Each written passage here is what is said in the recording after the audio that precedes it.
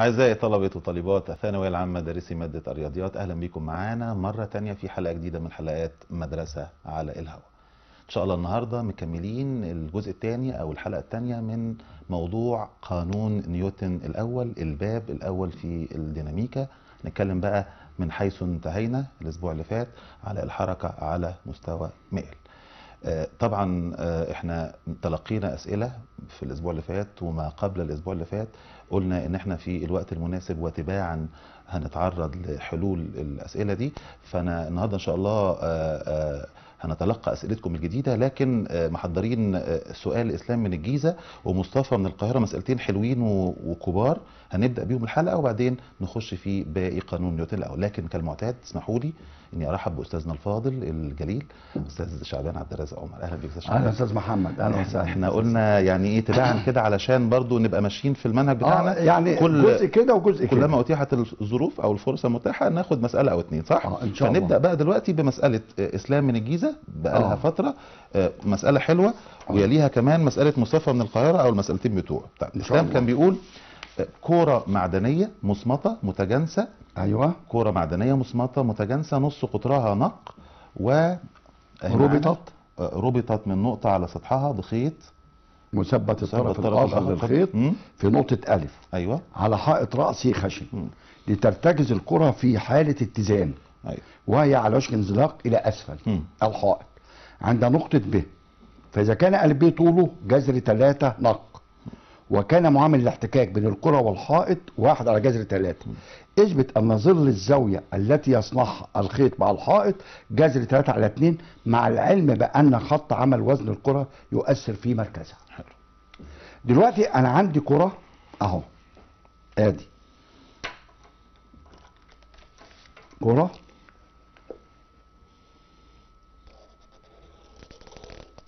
بتستند على حائط رأسي خشن. ربطتها بخيط اهو. من نقطة على سطحها والطرف الثاني للخيط مثبت في حائط رأسي خشن اهو ده خشن اهو. عند الكرة بتلامس الحائط عند نقطة ب. وزن الكرة بيأثر في مركزها الهندسي اهو. هيبقى هنا الوزن. نيجي هنا في رد فعل عمودي اللي هي ر. الكرة دي على وشك الانزلاق لأسفل. يبقى في قوة الاحتكاك لأعلى. احتكاك يبقى نهائي قوة. الاحتكاك اللي هو قوة احتكاك نهائي هتبقى الأعلى كده. هيبقى ميم ر.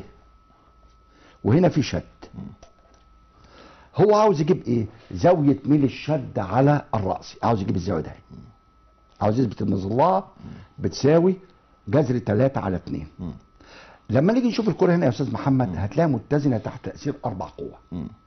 رد الفعل العمودي وزن. وزن الكرة والشد في الخيط وقوة الاحتكاك النهائي.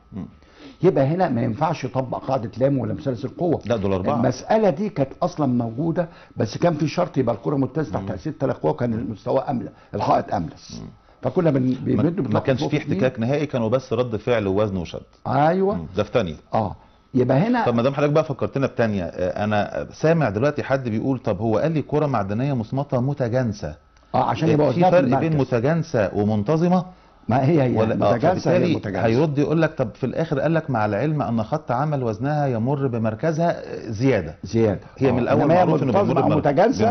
يبقى تمام. وزنها بيأثر في مركزها. الهندسي تمام أيوه يبقى هنضطر نحلل الشدة إلى مركبتين. آه آدي مركبة في هذا الاتجاه ومركبة في هذا الاتجاه. أهو هيبقى الزاوية ديت ه بالتبادل هيبقى هنا في مركبة. ش جتا ه وهنا ش جا ه يبقى عندنا نقول كده بما أن الكرة متزنة يبقى س بصفر وصاد بصفر. س اللي هي المركبات الأفقية يبقى ر بتساوي. ش جا ه سماها نمرة إيه؟ واحد. الرأسية. عندنا ش جتا ه وعندنا م ر وعندنا الوزن. يبقى ش جتا ه زائد م ر بتساوي الوزن. يبقى ش جتا ه معامل الاحتكاك هو مديهولك بواحد على جذر ثلاثة. يبقى واحد على جذر تلاتة. وعندنا في رد الفعل العمودي اللي هو ر. واو نسميها نمرة كام؟ اتنين. هنيجي بعد كده نختار نقطة تفيدني في إخدال العزوم. هو قال لك ألف ب ده طوله جذر تلاتة نق. مم. وأنا عندي دي نق. ديت نق اللي هو من المركز لغاية نق نص. القطر بتاع الكوز آه وده جذر تلاتة نق. فناخد العزوم حول ألف عشان الأبعاد العمودية موجودة مم. يبقى العزوم حول يعني ألف مش دايما باخد العزوم حوالين النقطة اللي بيمر بيها أكبر عدد من القوة آه. المرة دي إحنا اخترنا النقطة دي فعلا بذكاء علشان العواميد آه العمود الأبعاد العمودية. تعكسنا يبقى العزوم حول ألف بيساوي صفر مم. لما أجي العزوم حول ألف يبقى الشد ده عزمه بصفر خلصنا مم. وميم ر عزمها بصفر مم. يبقى لها عزم ر وإيه. وواو مم. فر هتروح لألف ضد عقرب الساعة يبقى ر. اهو يبقى البعد العمودي بتاعها نق ناقص واو آه، آه، ر البعد العمودي الجذر 3 نق هيبقى جذر 3 نق إنما واو البعد العمودي بتاعها إيه؟ نق. ما هو ر البعد العمودي ده أيوة. جذر 3 نق يبقى واو في نق. بيساوي صفر. هنستنتج إن ر هتساوي آه واحد على جذر تلاتة واو. يبقى ر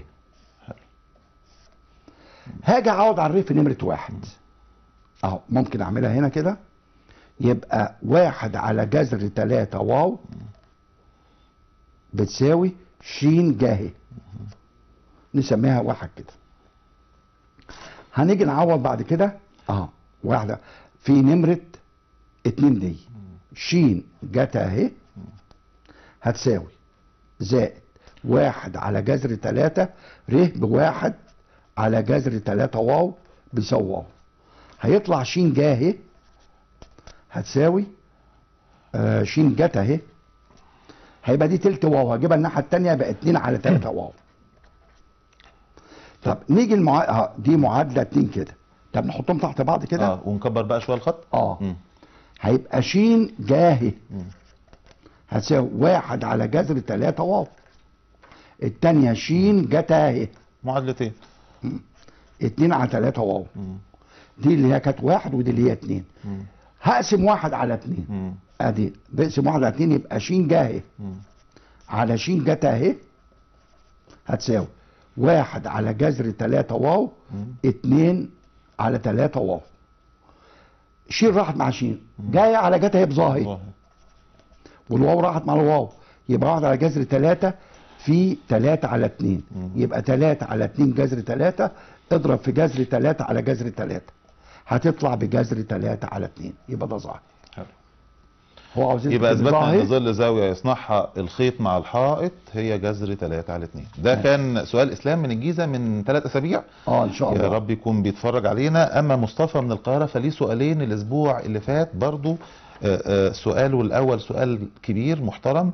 هنستعرضه مع بعض كده بسرعة آه. وإجابته كمان طويلة شوية. آه. فنقرأ الأول المسألة بتاعت مصطفى من القاهرة. م? بيقول لك قلب بيه قضيب منتظم. وزن وزن واو. واو. يرتكز بطرفه ألف على حائط رأس أملس وبطرفه به على أرض أفقية خشنة حيث معامل الاحتكاك بيساوي تلتين ربط أحد طرفي خيط طوله لام في منتصف القضيب وربط الطرف الآخر بقاعدة الحائط أسفل ألف رأسين. فإذا كان القضيب يميل بزاوية ه على الرأس عندما كان الطرف به على وشك الانزلاق بعيدا عن الحائط إثبت إنه الشد في الخيط يساوي هذا المقدار. واو في 3 ظهيه ناقص 4 على 4 جتاه آه. وإثبت كمان إنه رد الفعل فعل. بتاع الحائط عند ألف واو على 4 ظاهي في 3 ظاهي ناقص 2 آه. حلو هي المسألة هي المسألة متكررة امم بس هي مشكلتها عشان كلها بالرموز. امم مش بالأرقام مش بالأرقام تبقى أسهل. إنما هي المسألة موجودة قبل كده. كان الشد ومديك الإبعاد مم. والحاجات دي فكانت. بتبقى سهلة مم. إنما هي اللي عاملة أزمة مع مشكلتها في إنها كلها رموز, رموز. واو وهي وكده آه مم. فلما نيجي نرسم الكلام ده هتبقى عندنا آدي حائط رأسي أملس وقضيب منتظم اهو وادي القضيب ألف ب وآدي ألف ب. طبعا إحنا عارفين قضيب منتظم يبقى وزنه بيأثر في المنتصف. واو. اهو واو كده. هيبقى هنا ر واحد وهنا ر اتنين.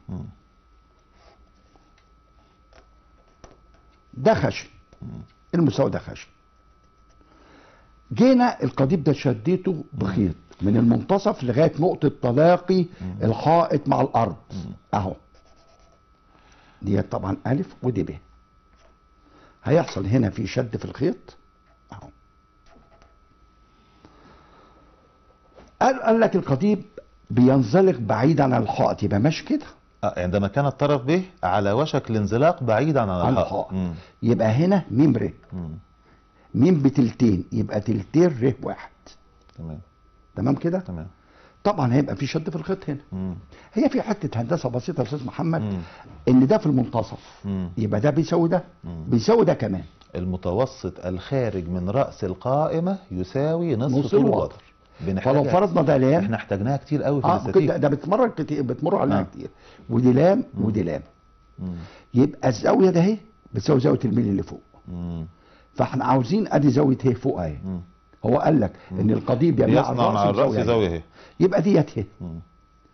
نيجي نحلل الشد إلى مركبتين. مم. هيبقى هنا شين جا اهي وهنا شين جتا بس خلصت المسألة. هي بقى مشكلتها في الرموز اللي هنشتغل عليها دي بقى. طيب. آه عندنا برضو القضيب متزن. أهو القضيب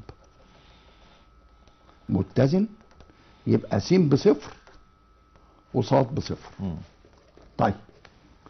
أنا عندي ر اتنين اللي هي الأفقية دي. مم. هتساوي آه ر اتنين هتساوي تلتين ر واحد زائد ش جه سيبها أهو. دي نمرة واحد. المعادلة التانية الرأسية. ر واحد. هتساوي ش أو واو زائد ش جت أهي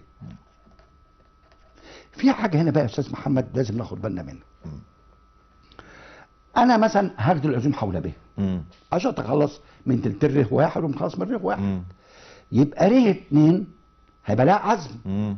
مش كده؟ طبعا يستحسن نخلي ر اتنين ديت آه، يعني آه، يبقى ر اتنين ديت بمعلومية شيء مم. عشان نقلل عدد المجاميل مجاميل. فيبقى بالإمكان حل المعادلات حل المعادلة عشان ما. تهش يعني أنا اللي بختار السكة اللي همشي فيها آه آه مش ماشي وبعد كده ما تقف لما أخد العزوم حول أبقى أدور على صرفة مم. هيبقى ر هيبقى لها عزم ر مم. اتنين فهيبقى عندي في المعادلات ر آه. وشين ور واحد آه طب من؟ باب أولى من الأول بما إني بتاع رياضه بقى آه. بحل الرياضة يعني من آه. باب أولى أدور على علاقة بين الره وال والشين. بس. لا عشان اخد العزوم. حول ب. يبقى أنا خلصت من شين واحد. وره واحد. أيوه. مم. يبقى أجي أعوض من اتنين في واحد. أهو. قبل ما اخد العزوم هيبقى ر اتنين. اتنين على تلاتة. ر واحد واو. زائد شين. أنا دائما يعني أنا قلت قبل كده أيام ما كنا بندي في الازاي العام آه. كنت بقول الملاحظة دي. بجيب ر اتنين بمعلوميه واو. مم.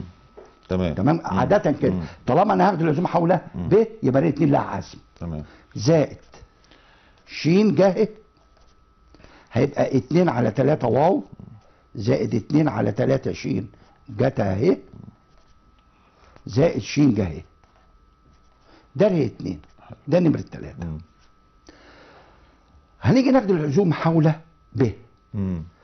هيبقى القوة دي كلها عزومها بصفر. طبعا. اللي هي تلتين ر واحد وشين جه اهي ور واحد. مم. يبقى لها عزم واو وشين جت اهي مم. ور اتنين. طيب لما اجد العزوم حول ب. عزم الواو هتدور ضد عقرب الساعة. طب الزاوية ديت بتساوي إيه؟ يبقى البعد العمودي مقابل. يبقى الوتر في جيب الزاوية. يبقى لما أجيب عزم الواو هقول له واو في لام الزاوية الأخيرة دي بتساوي إيه؟ بالتناظر عشان أختها فوق بايه آه. أو بالتبادل برضو هي هي آه. مع أختها اللي تحت. آه. يبقى هي هي هي بالتناظر فوق يا أستاذ محمد. مم. يبقى واو في البعد العمودي يبقى لام جاهي تمام. طيب طبعا دي عزمة يبقى لها عزمه ر 2 وشين. مم. ر 2 هتدور مع عقرب الساعة. أنا بفهم بس الطلبة إزاي ياخدوا العزوم. تمام. في البعد العمودي ده مم. يبقى مجاور أيوة. يبقى 2 لام جت أهي. تمام. نيجي الشين جت اهي هتدور ضد عقرب الساعة. البعد العمودي مقابل يبقى 2 لام جه اهي تمام. نيجي نكتب الكلام ده بقى. اهو. العزوم حول ب بتساوي صفر. لما اخد العزوم حول ب إحنا قلنا بقى واو في لام جاهي. ناقص. ر 2 في قلنا 2 لام هيبقى البعد العمودي بتاعنا هيبقى ما تيجي نبص على الرسمه وإحنا بنكتب كده؟ أهو أهو. يعني فين العواميد؟ أيوه. أما إحنا قلناها أهو. آه لا يعني إحنا بنكتب ممكن آه. نخلي آه. أهو. ر 2 البعد العمودي ده أيوة. مجاور. مم. يبقى 2 لام جت أهي. تمام. أهو. أهو. 2 لام جت أهي. تمام. 2 ماشي. لام. جت أهي. أيوه. نيجي بعد كده الشد. أيوة. شين جت أهي. هتدور ضد عقرب الساعة. البعد العمودي مم. مقابل. مم. يبقى 2 لام جه أهي. تمام. يبقى عندنا زائد شين جت اهي أيوه. في 2 لام جه حلو. إيه الكلام ده بصفر مم. تمام كده؟ تمام. طيب هنبص التاني. اللام راحت مع اللام راحت مع اللام. يبقى واو جه ناقص. نيجي بقى ري اتنين أنا قلت جيبها بمعلومية واو وشين مم. فأنا عندي ري اتنين أهي. تلتين واو زائد آه تلتين شين جت اهي زائد شين جه اهي. نعوض عنها بري اتنين هنا. يبقى اتنين جت اهي. اشيل بقى ري اتنين واحط قيمتها. اللي هي اتنين على تلاتة واو. زائد اتنين على تلاتة شين جت اهي. تمام كده؟ زائد شين جه اهي دي كلها ري اتنين. نقفل القوس. خلاص؟ مم. زائد. فاضل دي. زائد اتنين اهي جت اهي إيه الكلام ده بصفر؟ حلو. تعال نفك بقى الكلام ده. أدي واو جه هضرب ال الاتنين جت اهي جوه هنا. يبقى سالب. أربعة على تلاتة واو جت اهي ناقص أربعة على تلاتة شين جت اهي تربيع اهي ناقص اتنين شين جه اهي جت اهي زائد اتنين شين جه اهي جت اهي ده بالسالب وده الموجب دول راحوا مع بعض. آه. أهو دول راحوا مع بعض. هيفضل عندي بقى مين؟ واو جه اهي ناقص أربعة على تلاتة واو. واو. جت أهي. ناقص أربعة على تلاتة شين جتا تربيع. أهي. إحنا عاوزين نجيب بقى إن شاء الله إيه؟ مم. عاوزين نجيب شين. مم. صح؟ مم. هجيب دي الناحية التانية. يبقى وع- واو جاهز. وعايزين الشين دي تطلع واو وظاهر وجت أهي. أربعة على تلاتة واو جتا أهي. مم. بتساوي أربعة على تلاتة. شين جتا تربيع مم. أنا عاوز الشين يبقى هقسم على أربعة تلاتة جتا تربيع. أهو. هيبقى شين هيساوي ده كله على ده. أهو. واو جه اهي ناقص أربعة على تلاتة. واو جت اهي على أربعة على تلاتة. واو جت آه، أربعة جت تربيع اهي بس. هنقسم. لو خدنا فوق واو عامل مشترك مم. هتبقى جاهي. ناقص أربعة على تلاتة جت أهي.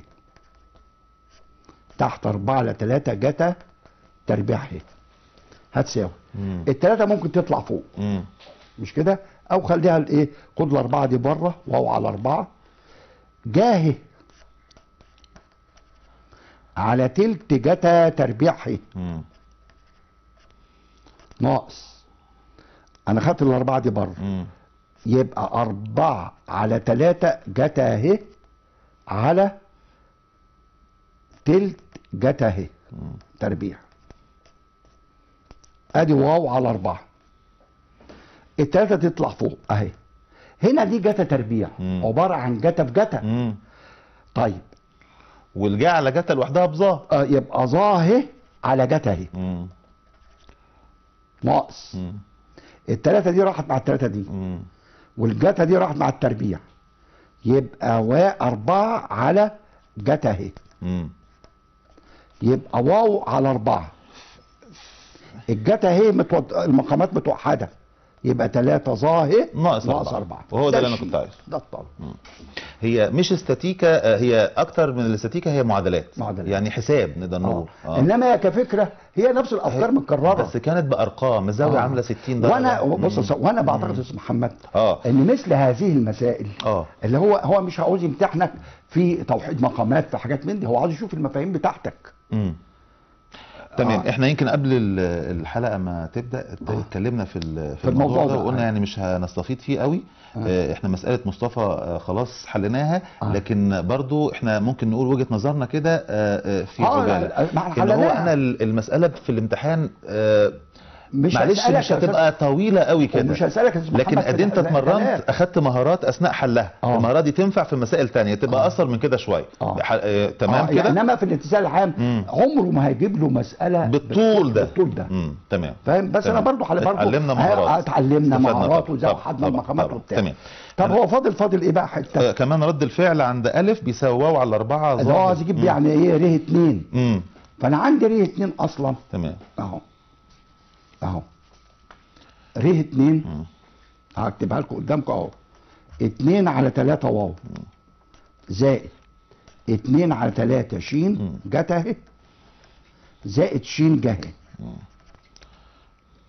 ادي اتنين على تلاتة واو. خد ده شين بره. تمام. هيتبقى اتنين على تلاتة. جت اهي. زائد جه هيبقى ر اتنين؟ عبارة عن اتنين على تلاتة واو. مم. زائد شيل شين بقى وحط قيمتها. إحنا لسه اللي هي جايبين واو على أربعة. امم في ثلاثة ظاهر. تلاتة ظاهر. ناقص أربعة. ناقص أربعة على على جت. جت اهي. في القوس ده اتنين على تلاتة. جت اهي. زائد جه اهي. بس. تمام كده يا أستاذ محمد؟ هنضطر بقى نضرب الأقواس دي ببعضها. هيبقى عندنا حتى اهو. ر اتنين. اتنين على تلاتة واو. زائد واو على أربعة جت أهي. هتبقى هنا تلاتة ظاهر ناقص أربعة. في اتنين على تلاتة جت أهي زائد جه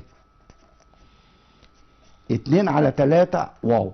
زائد واو جت أهي أربعة جت أهي. هنضرب القوسين دول في بعض. لما نضرب القوسين دول في بعض هيبقى تلاتة ظاهر. في تلتين جت أهي ديت هيبقى عندنا هيبقى تلاتة ظاهر في اتنين على تلاتة جت اهي زائد تلاتة ظاهر في جه ناقص أربعة في اتنين على تلاتة جت اهي زائد أربعة جاهي. لما نيجي ندخل الجتا دي جوه آه. هيبقى اتنين على تلاتة واو. مم. هناخد هندخل الجتا دي جوه. يبقى دي زائد واو على أربعة. هيبقى الت- التلاتة دي راحت مع التلاتة ديت يبقى ظاهر في اتنين جتا اهي على جتا اهي. زائد تلاتة ظاهر في جاهي. على جتا اهي تمام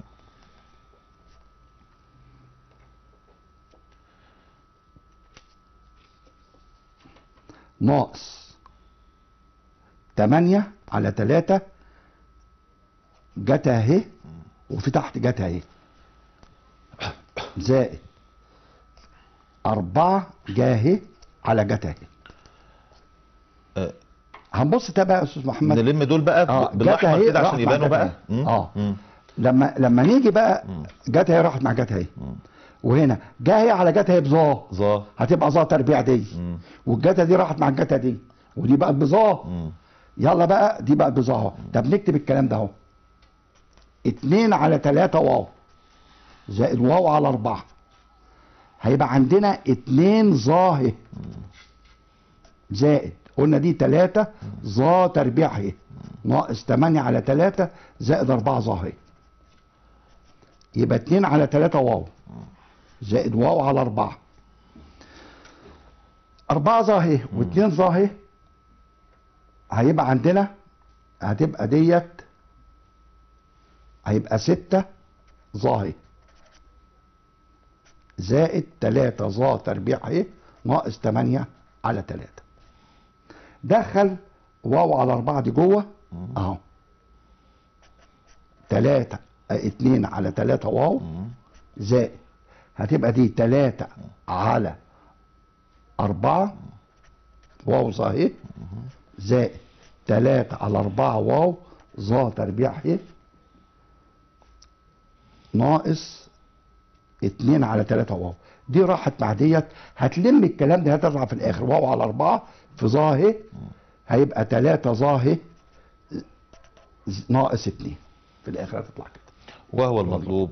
إحنا قلنا من شوية إنه آه المساله طويلة. رأينا آه، فيها إنها آه، آه. طويلة لكن إنما آه فكرتها يعني رأيي طالما إنما ما- إحنا بنتعلم من حلها مهارات تنفع في. مسائل آه، أخرى آه. من اللي هي موضوع سؤال في الامتحان يعني ماشي بس طيب أسئلة أخرى من اللي هي موضع سؤال في الامتحان آه طيب نرجع بقى نستكمل كلامنا في قانون نيوتن الأول اللي كنا. بدأناه بإنه كلمة السر عند الطالب اللي يشتغل هو كان في مسألة ثانية يا. أستاذ محمد برضو بتاعت آه. مصطفى بس آه بتهيألي كنا انها إحنا آه. آه. كنا عملناها اسئله أسبوع فهي على اليوتيوب موجودة لو دور آه. هيلاقيها ومع آه. ذلك برضه هي من ضمن المسائل اللي موجودة عندنا إن شاء الله في أقرب فرصة نحاول نستعرضها مع بعض أو يمكن. حتى في المراجعة مثلا إن شاء الله إحنا كنا بدأنا في الأسبوع اللي فات بقانون نيوتن الأول بعد مفهوم كمية الحركة آه واستعرضنا مسائل على قانون نيوتن الأول قلنا كلمة السر إنه جسم يتحرك بأقصى سرعة أو بسرعة منتظمة أو حركة منتظمة. أو حركة آه منتظمة يبقى محصله القوى المؤثرة عليه بصفر بالتالي أصبح هناك جسم متحرك تحت تأثير مجموعة من القوى محصلتها بصفر. مم. تمام كده؟ واشتغلنا على الكلام ده بعض اشتغلنا مسائل حركة أفقية وحركة آه. رأسية. النهارده بقى نشتغل إيه؟ الحركة المنتظمة لأعلى على- مستوى مائل على. الأفقي. بزاويه سهل ما يعني مش حركة أفقية ولا رأسية حركة على مستوى مائل. مائل. إذا كانت القوة قاف في اتجاه خط أكبر من لاعلى اهو آه. يبقى عندنا الوزن محلهم مركبتين يبقى واو جت اهي. وواو جه. يعني محل الوزن في اتجاه المستوى والعمود عليه. تمام. طالما الجسم ده طالع بحركة بسرعة منتظمة أو بأقصى سرعة. أو بيتحرك بحركة منتظمة. يبقى القوة اللي فوق بتساوي اللي تحت. يبقى ق بتساوي واو جاي زائد المقاومة. حلو. تمام؟ عشان المقاومة بتبقى في اتجاه مضاد لاتجاه حركة الجسم. وعندنا رد الفعل بيساوي مركب اللي هي واو جت اهي. حلو. طب لو قاف مايله يعني أصلا بقوة بس مايلة على المستوى. مايلة على خط أكبر من آه هنحللها إلى إيه مركبتين. قاف جت اهي وقاف جاي. برضه ده ماشي بحركة منتظمة. يبقى قاف جت اهي بتساوي واو جاي اهي زائد مين؟ وبرضه هنا ر زائد قاف جاي بتساوي واو جت اهي تمام. طب لو إحنا فرضنا عندنا الجسم متحرك لأسفل بقى. آه بقوة قاف برضه الأسفل أهو. برضه الحاجات الثابتة موجودة يا أستاذ محمد إن هي الوزن محله مركبتين. مم. قاف لاسفل برضه نازل بسرعة منتظمة أو بأقصى سرعة. يبقى عندنا قاف زائد واو جاي بيساوي ميم؟ مم. وبرضه ليه بيساوي واو جت أهي؟ هنا حتة بقى زيادة من عندي. افرض الجسم يتحرك بتأثير وزنه فقط. برضه سرعة إيه؟ منتظمة. مفيش قاف. يبقى لابد إن واو جاي بيساوي ميم. وعمر يا أستاذ محمد على المستوى المائل. الجسم مش هينزل على مستوى مائل إلا إذا كان فيه مقاومات. بسرعة منتظمة مم. طب لو ب... ب... بعجلة لا ب... بقصد بمستوى أملس. مش هينزل بسرعة منتظمة. لازم يكون في مقاومات. زي ما هنشوفها مش هيبقى فيه حاجة تضاد مركبة آه. الوزن. فمش هيمشي بسرعة منتظمة. بسرعة منتظمة إزاي؟ ده أكيد هيتحرك لأسفل بعجلة. بعجلة. وبعجلة مم. آه. تمام. وهنشوفها قدام الكلام. ده يبقى عندنا هنا لو ماشي تحت تأثير وزنه فقط يبقى ميم بيساوي واو ظا اهي واو جا اهي؟ وري بيساوي واو جت اهي. طب نشوف بقى مسائل على الكلام ده. طيب أول مسألة بقى كتطبيق مباشر على الكلام البسيط الجميل ده. آه. بنقول فيها جسم وزنه 225 ثقل هتظهر حالا آه. معانا ونقراها آه. ده جسم وزنه 225 ثقل كيلوجرام بيتحرك في خط مستقيم على مستوى يميل على الافقي بزاوية قياسها اهي حيث جيب الزاوية اهي بسبعة على 25 ونعدل الورقة تحت أيوة. تأثير قوة قاف موازية للمستوى يعني في اتجاه خط أكبر ميل. ومقدارها 180 ثقل فإذا كانت حركة الجسم منتظمة اوجد كل من مقدار كلمه حركة. جسم منتظمه يا أستاذ محمد حط تحتها خط. آه. تعرف انت تطبق قانون الأول.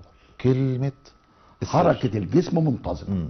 إحنا قلنا بقى كلمة السر يا إما الجسم يسير بأقصى سرعة أو أو بسرعة بسرعة. منتظمة أو بحركة منتظمة. منتظمة. يوجد كل من المقاومة وكذلك ضغط الجسم على المستوى. آه. ده اللي هو رد الفعل العمودي مم. بنيجي بقى تطبيق مباشر على الكلام اللي إحنا قلناه دلوقتي أهو. آدي جسم.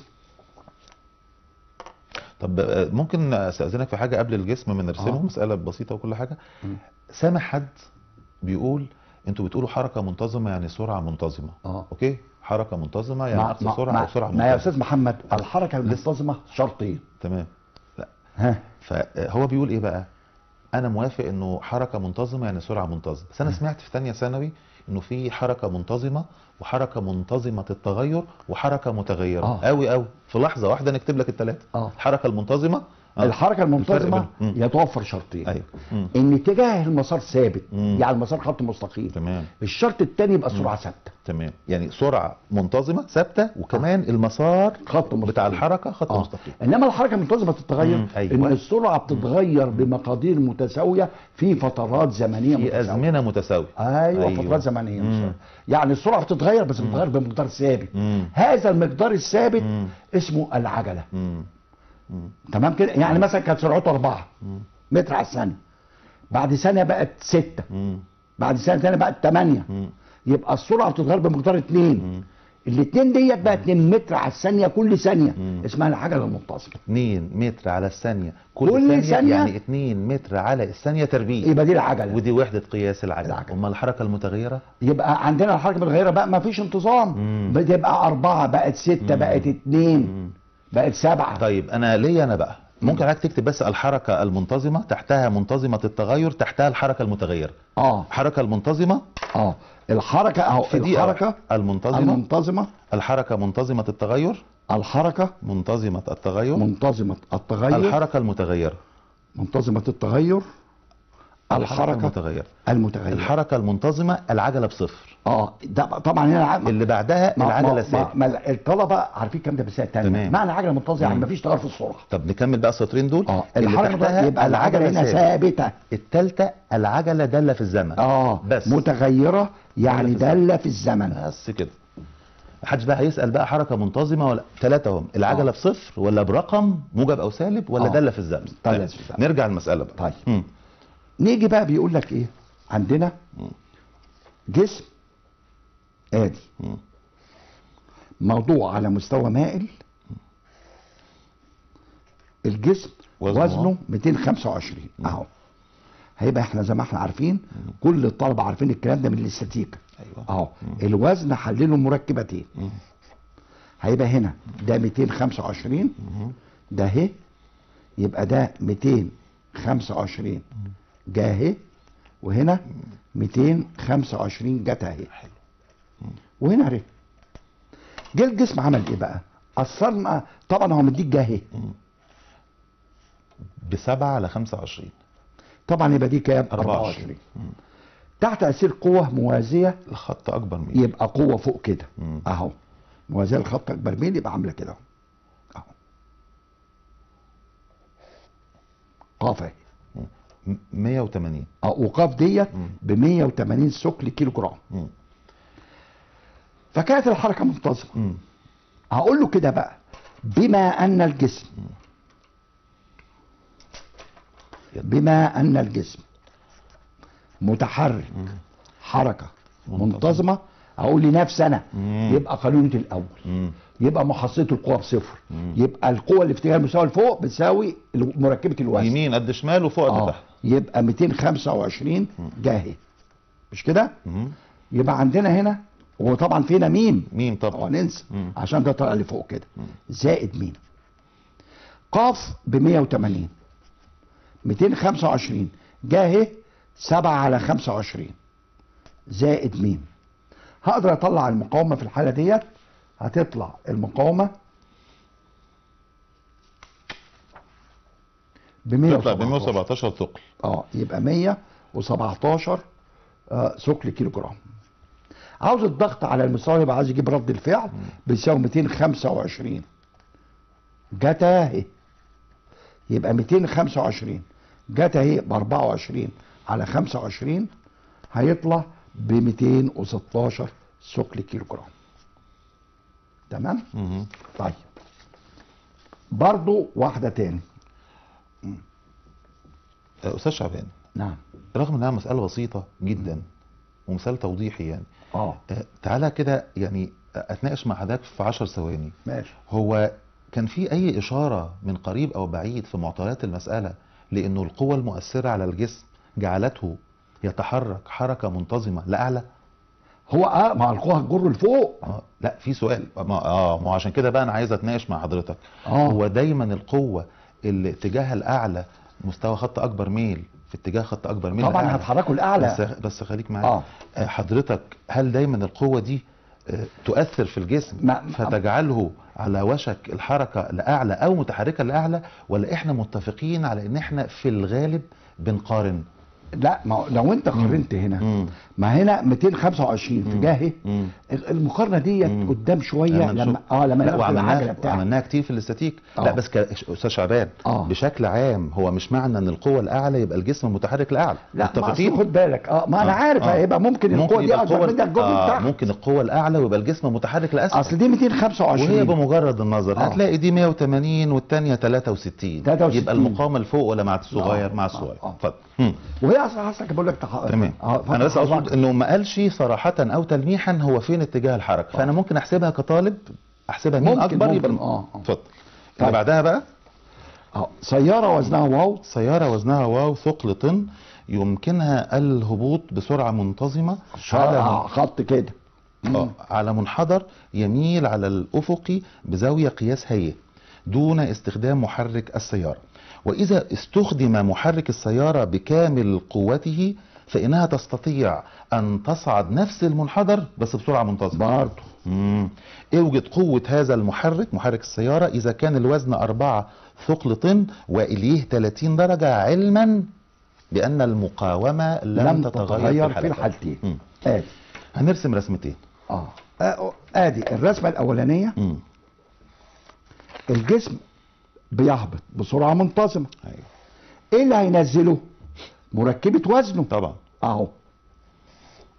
اللي هي واو جاهي. هينزل كده يبقى ده مين. عاوز تعمل رد الفعل عمود عاوز تعمله؟ خلاص إحنا حافظين مش هيخش معاه في الحركة. آه يبقى الجسم هابطا. بسرعة منتظمة. يبقى مين بيسوي واو جاهي. سيبها. جه قال لك شغلنا المحرك وجت طلعت. أهو آدي الجسم ما هي مستحيل تطلع تحت تأثير وزنها زي ما. هبطت طيب. تنزل تحت تأثير آه. وزنها آدي قاف هنا برضو مركبة الوزن مم. وهنا بقى مين كده عشان طالع بقى. آه ومادام صاعدا بسرعة برضو منتظمة مم. يبقى قاف بتساوي ميم زائد واو جاهي. عشان الكلام ده هيمر عليها كتير يا أستاذ محمد مم. حكاية المقاومة ما بتتغيرش والحاجات دي. مم. المقاومة هي المقاومة يبقى مم. واو جاهي. زائد واو جاهي. يبقى قاف بتساوي 2 واو جاهي. قال لك وزن الجسم بكام؟ بأربعة ثقل طن. يبقى أربعة. في ألف. في جهة 30 يبقى 8 في ألف. في نص يطلع 4000 ثقل كيلو جرام. تمام تمام واحدة برضو هي هي كده. اسمها يه بس إحنا مشيناها هي مش هتفرق هو إيه اللي بس عشان ليه ب قال لك 30 دي درجة الأول يعني؟ طبعا مم. جاي. آه تمام. قصدك آه، دي يه آه ليه يعني. يعني 30 آه، طيب يعني ناخد بقى؟ حاجة مختلفة دي بي بيتكلم ماشي. عن سيارة مم. مسألة جديدة بيقول سيارة وزنها ستة ثقل طن آه. تسير على طريق أفقي بسرعة منتظمة وحالا هتظهر معانا المرة دي سيارة وزنها ستة ثقل طن آه، تتحرك على طريق أفقي بسرعة منتظمة وعندما وصلت إلى منحدر يميل على الأفق بزاوية جبهة واحد على خمسين أوقف السائق المحرك. يعني هي كانت ماشية على طريق أفقي آه. ولقت منحدر أما بطل الموتور وهتنزل. تنزل تحت تأثير وزنها. وزنها بس. مم. فأوقف السائق المحرك فهبط المنحدر بسرعة منتظمة أيضا. فإذا كانت مقاومة المنحدر لحركة السيارة ثلاث أرباع مقاومة الطريق الأفقي. فأوجد قوة المحرك على الطريق الأفقي. دلوقتي السيارة كانت ماشية على طريق أفقي. مهم. بسرعة إيه؟ منتظمه أهو. آدي السيارة وآدي. آدي قوة المحرك وآدي مين؟ تمام. ماشية بسرعة منتظمه قابلها منحدر. كوبري يعني نزلت عليه. اهو لما جت ال ال ال العربية دي نزلت على المنحدر. وقفت قاف امال اللي هينزلها مركبة. وزنها. مم. اللي هي واو جه. اهي يبقى في مقاومة هنا. ملهاش مش زي المقاومة اللي فوق ما قالش مقاومة واحدة. لا. ده بالعكس. آه ده دي قال قال كانت مقاومة المنحدر صراحة أهو ثلاث أرباع مقاومة الطريق الأفقي. يعني ميم شرطه مم. تلات أرباع ميم مم. نمسك الأول السيارة الهابطة على المنحدر. مم. هابطة بسرعة إيه؟ منتظم. هابطة بسرعة منتظمه يبقى خلوتي الأول. يبقى ميم شرطه بتساوي واو جه إيه؟ وزن السياره 6 ثقل طن يبقى 6 في 1000 في جاي واحد على 50 يبقى ميم شرطة لما تحسبها هتطلع تطلع بال- 120 ثقل. 120 ثقل كيلو جرام أنا عندي ميم شرطة تلات أرباع ميم. مم. يبقى 120 تلات أرباع ميم. أقدر أجيب المقاومه يبقى ميم بتساوي 160 ثقل كيلو جرام نيجي على الطريق الافقي. السيارة ماشية بسرعة منتظمة. يبقى قاف بتساوي ميم. يبقى قاف بتساوي 160 ثقل كيلو جرام هو عاوز يجيب قاف. موضوع بسيط وشيق وممتع. آه وهننتقل من المسألة الممتعة دي إلى مسألة تانية برضو بسيطة وممتعة وإحنا قلنا في بداية الحلقات بتاعت الديناميكا لو تفتكر يا أستاذ شعبان أيوة. إنه في ميزة نسبية للديناميكا آه، مختلفة عن كل فروع الرياضيات آه. الستة الديناميكا مرتبطة ببعضها يعني اللي هنقوله دلوقتي ده هيتكرر في الباب الثاني والثالث والرابع ماشي. حتى النهاية آه. مم. طيب قاطرة كتلتها 70 طن وقوة آلتها 140 ثقل كيلوغرام تجر عددا من العربات التي كتلة كل منها 7 طن كل عربية 7 طن. بتجرها أسفل مستوى يميل على الأفق بزاوية جيبها واحد على 100 فإذا كانت مقاومة الهواء والاحتكاك لحركة القطار 20 ثقل لكل طن. 20 ثقل كيلوغرام آه لكل من كل طن. طن آه. من الكتلة المتحركة. فما عدد العربات التي التي- تجرها القاطرة حتى تكون أنا أسرع قلت مرة المسألة دي برضه مرت علينا. مم. أي قطر بيتكون من جزئين مم. قاطرة وعربيات. قاطرة وعربيات. الراجل هنا مدينا كتلة القاطرة. لو أنا عرفت كتلة العربيات أقسمها على كتلة العربية الواحدة أجيب عدد العربات. تمام؟ فأنا هفرض كتلة القطار كله مم. هنخلصها بسرعة. كاف طن تمام كده؟ طيب آه، إحنا هنتكلم في المسألة بالتفصيل ويمكن نقولها تاني آه. لكن بعد ما نرجع من الفاصل الصغير اللي هنطلعه. دلوقتي. فاصل ونرجع. يلا.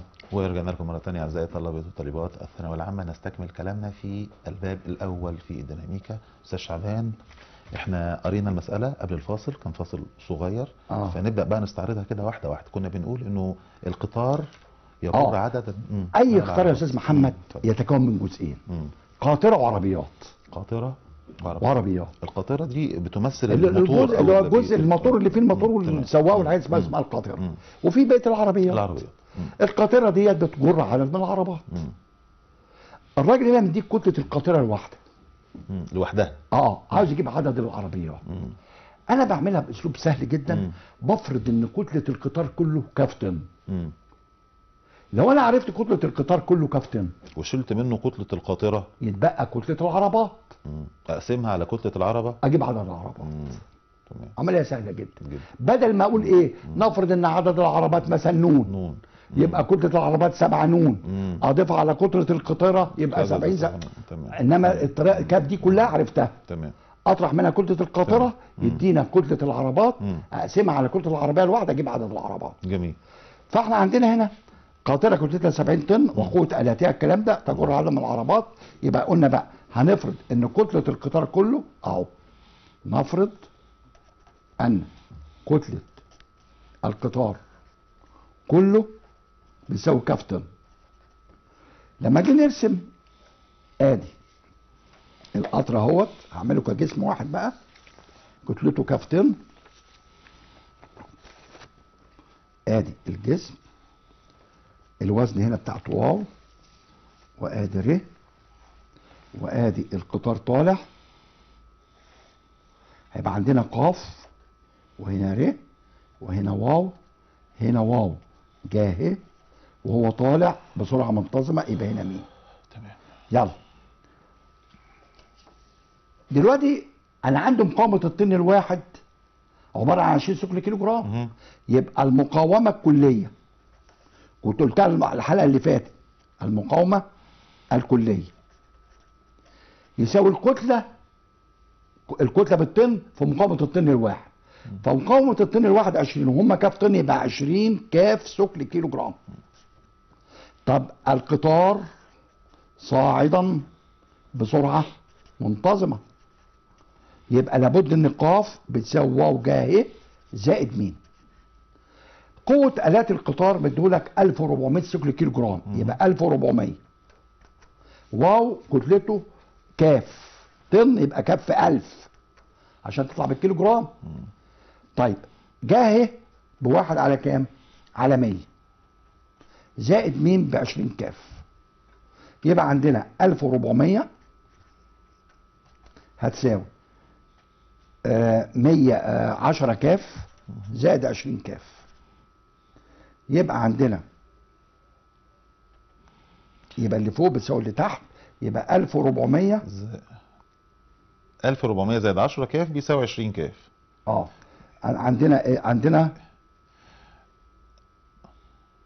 هو ال- القطار إيه؟ لا ده القطار هابط 1400 بس لا لا القطار. هابطة. يبقى ده قاف فوق؟ وفوق مين؟ أهو عشان يبقى كلامنا مظبوط يبقى هنا يبقى دي ميم بتساوي واو جاي زائد قاف يبقى عندنا في 1000 زائد قاف ب 1400 يبقى عندنا ودي ميم طب نعملها أحسن في ورقة تانية. هو آه، آه، صاعد زي الفل لكن هو بيقول آه، أسفل مستوى لا، لا، لا، نازل نرسمها رسمه آه. على نظافة يكون آه. هابط فيه. مم. احسن عشان هابط. مم. إحنا كنا أصل المسائل كلها. متعودين. آه. أدي هنا قاف وهنا واو جاي وهنا ميم. هابطا بسرعة منتظمة. يبقى قاف زائد واو جاي بتساوي مين؟ قاف عندنا ب 1400 زائد واو اللي هي كاف في 1000 في واحد على في 100 واحد على 100 إحنا قلنا المقاومة كلها عبارة عن 20 كاف. يبقى 1400 زائد 10 كاف بتساوي 20 كاف. يعني ال 1000 يبقى 1400 10 كاف. بتساوي 10 كاف يبقى كاف ب 140 طن. نشيل منها بقى ال 70 طن. آه يبقى كتله العربات.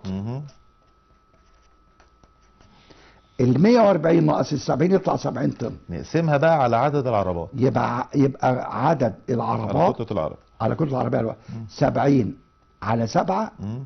يطلع 10 على العرب 10 عربات. جميل. تمام. ده كان بالنسبة لمسألة القطار المتحرك لأسفل.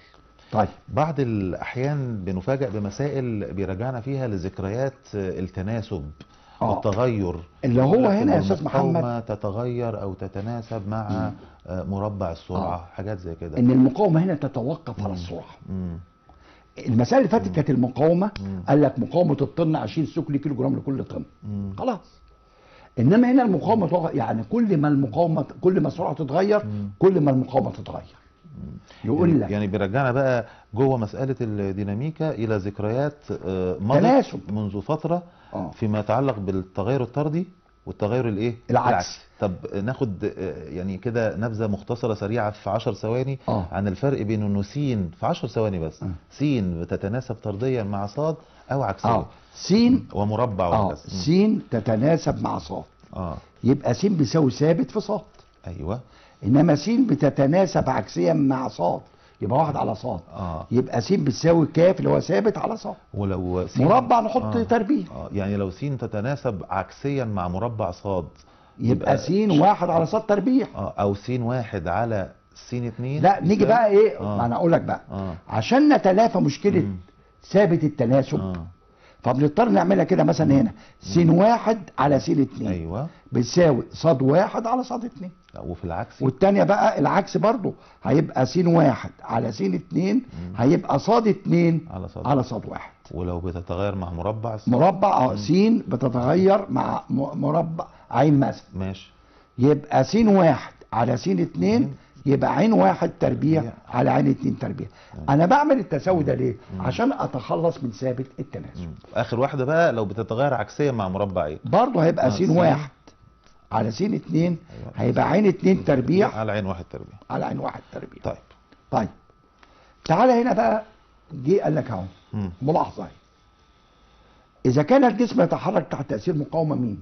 اي تتناسب طرديا مع السرعة مم. يبقى أهو معاه كده في الورقة أهو هتظهر معانا اهو. آه. يبقى مين بتتناسب مع عين مم. يبقى ميم واحد على ميم اتنين بيساوي عين واحد على عين اتنين اهي اهي الميم تتناسب مع عين. تتغير مع عين آه. يبقى ميم واحد على ميم اتنين مم. بيساوي عين واحد زي ما عملناها يا أستاذ محمد سين وصاد. أيوه. معايا؟ هي هتظهر دلوقتي معانا حالا. إذا كان. الجسم آه. إذا كان الجسم طيب، نقول- يتحرك تحت تأثير مقاومة ميم مم. تتناسب مع مربع السرعة. أيوه أهي. يبقى الأول تتناسب مع عين مم. يبقى ميم واحد على ميم اتنين عين واحد على عين اتنين. تمام. مع مربع السرعة مم. يبقى ميم واحد على ميم اتنين عين واحد تربيع على عين اتنين تربيع. تمام. ناخد عليها مسألة؟ آه. ناخد عليها مسألة. بيقول لك قطار كتلته 160 طن. ماشي. آه، يتحرك على طريق أفقي مستقيم فإذا كان مقدار مقاومة الطريق له يتناسب طرديا مع مربع مقدار سرعة القطار. آه. طب هتظهر حالا برضو ونقراها مع بعض. آه. قطار كتلته كتلته 160 160 طن. طن. يتحرك على طريق. أفقي مستقيم. فإذا أيوة. كان مقدار مقاومة الطريق له يتناسب طرديا مع مربع مقدار سرعته. وأقصى قوة جر لمحرك هذا القطار 7200 ثقل كيلوغرام ومقدار أقصى سرعة للقطار 90 كيلومتر كل ساعة. فأوجد مقدار المقاومة لكل طن من كتلة القطار لما يكون مقدار السرعة 30 آه. كيلومتر هنا بقى آه، آه، الطالب ابننا الطالب مم. ينظم نفسه نطلع ميم واحد عين واحد ميم اتنين عين اتنين. على جنب كده. على جنب. آه وإحنا بنحل. مم. لو عرفت ثلاثة أقدر أجيب الإيه؟ الرابع. طبعا. يبقى هنا قال لك إيه؟ قال لك المقاومة بتتناسب مع مربع السرعة مم. يبقى ميم واحد على ميم اتنين عين واحد تربيع على عين اتنين تربيع إزاي بقى بنطلع ميم واحد وعين واحد كده.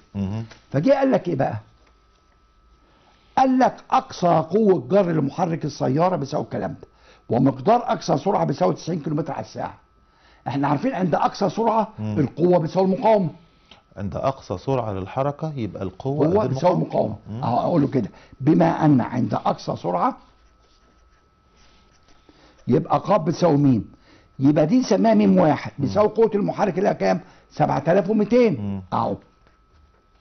إمتى الكلام ده؟ عندما عين واحد اللي هي أقصى سرعة 90 كم على الساعة.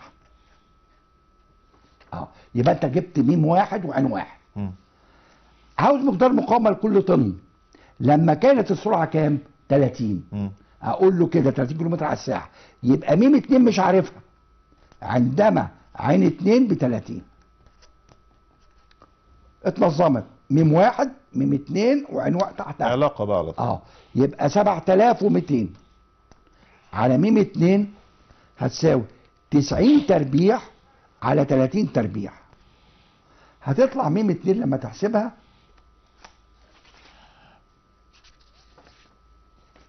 هتطلع ميم اتنين بكام؟ ب تم- آه، ت- 800 ثقل كيلو جرام ده المقاومة الكلية.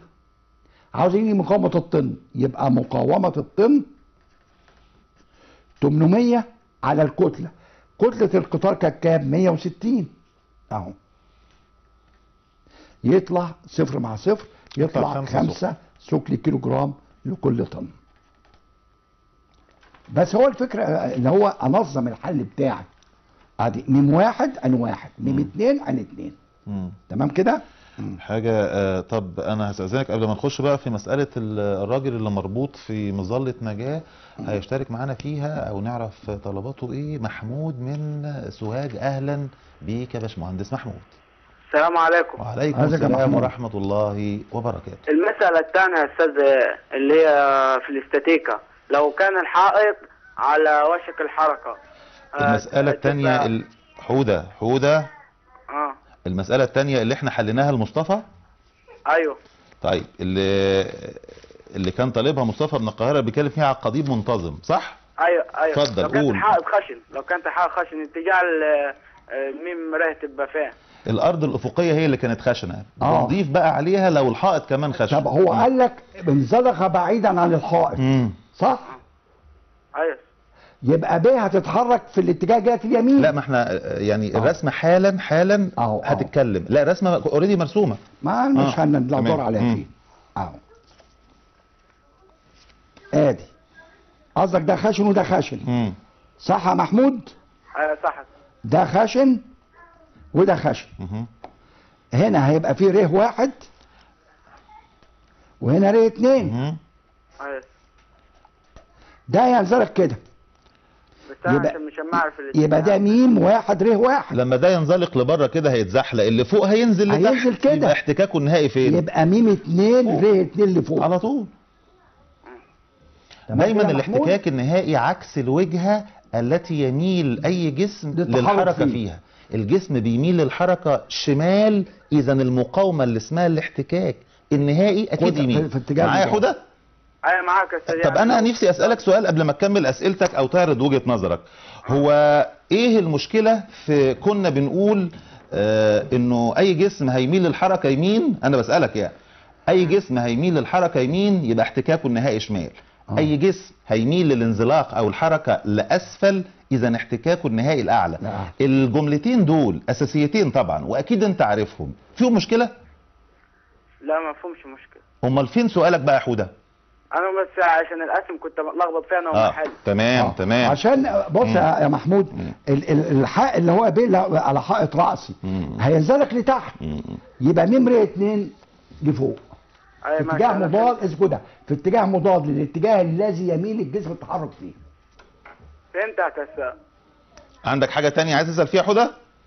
طب أنا أستاذ محل امتحانات كتير وما لقيتش مسألة الدائرة والمسائل اللي هي ما تبقى كبيرة دي عمر ما لقيت المسائل اللي هي صعبة ده هاي هو في الامتحانات بالفعل إحنا يمكن أشرنا إلى كده كده على استحياء آه. ومش هنقدر نستفيد معاك في الإطار ده أكتر من الكلمتين اللي إحنا قلناهم آه، من شوية فيما يتعلق بأنه المسألة لما بتبقى طويلة زيادة لا، عن اللزوم ما بنعتبرهاش قوي سؤال امتحان وإحنا ما نقدرش نقول أكتر من كده. آه. آه، لكن طبعا زي ما أنت بتحل كده كلنا بنحل امتحانات وعارفين شكل مسائل الامتحان ما هياش سر يعني. صح كده يا محمود؟ معاكم الس- أيوه صح. تمام تمام. عندك حاجة تانية عايز تسأل فيها؟ لا احل معاكم. قوي تنورنا طبعا. يلا. نخش في المسألة اللي جاية بقى. آه.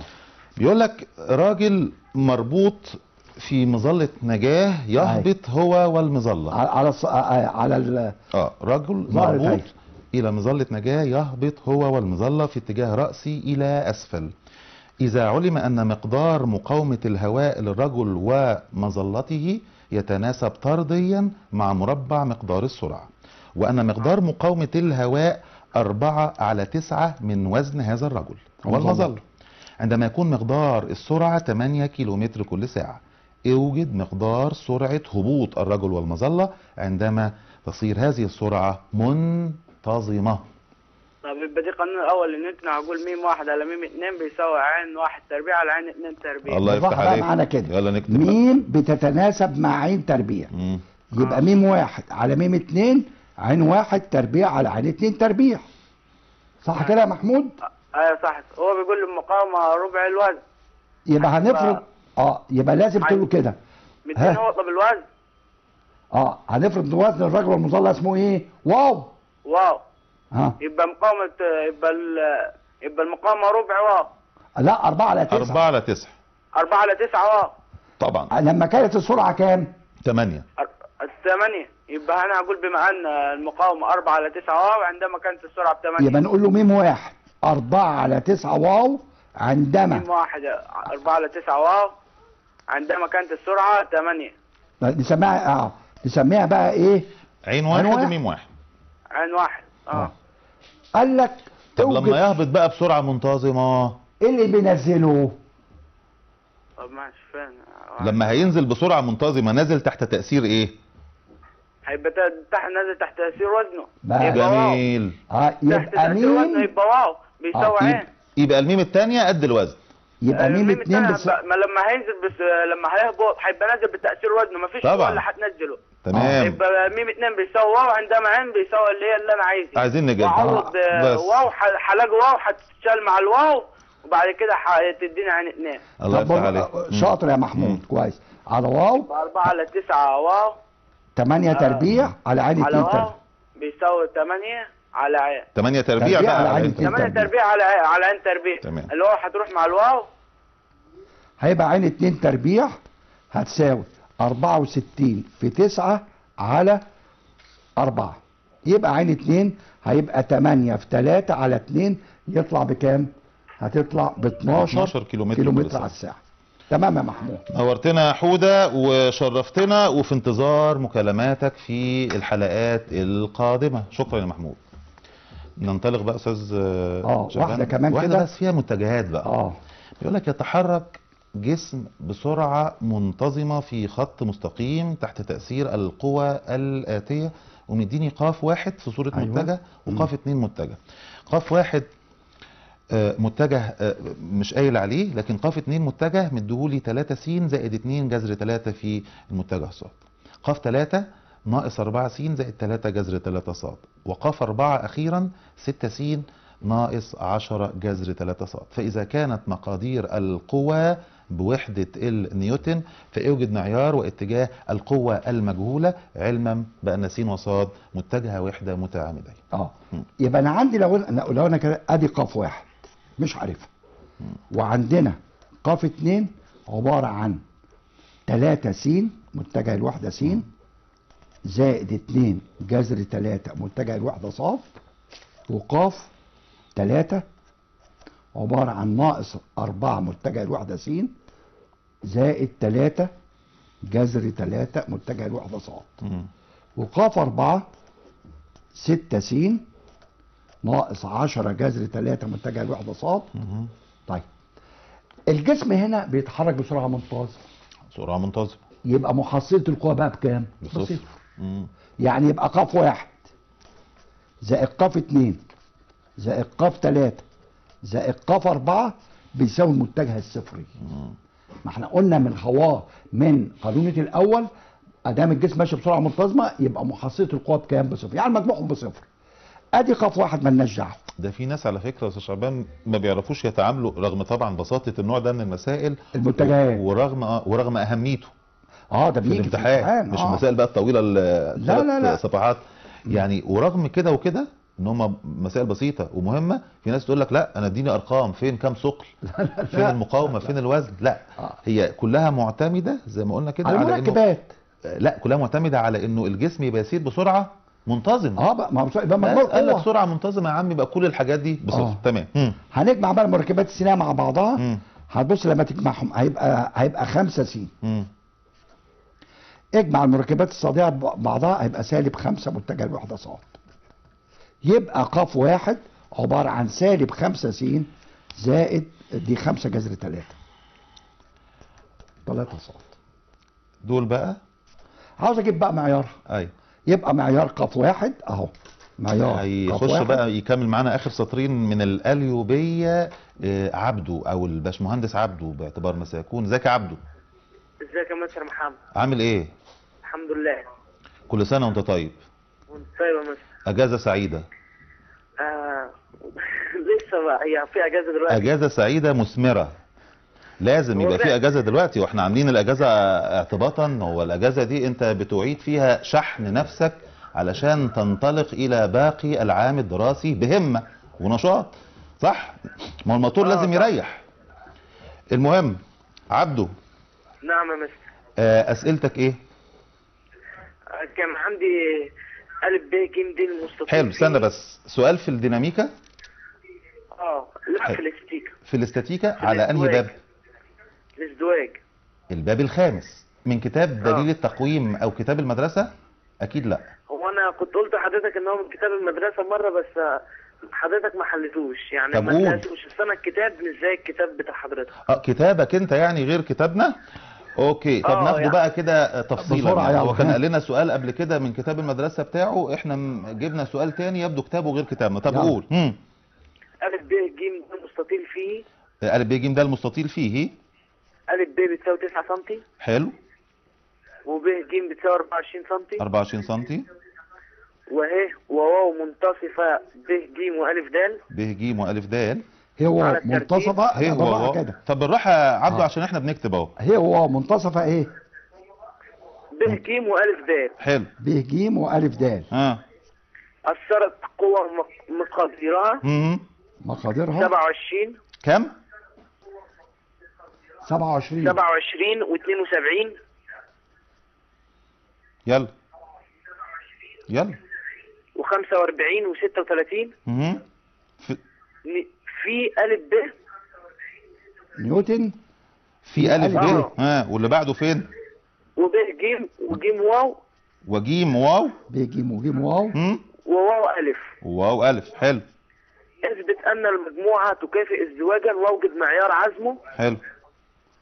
ثم أوجد القوتين اللتين. معيار عزمه؟